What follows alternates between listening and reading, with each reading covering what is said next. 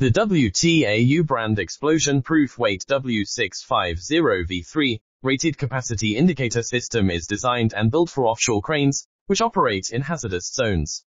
It is constructed with the intrinsically safe features required for an offshore crane operating in an offshore environment.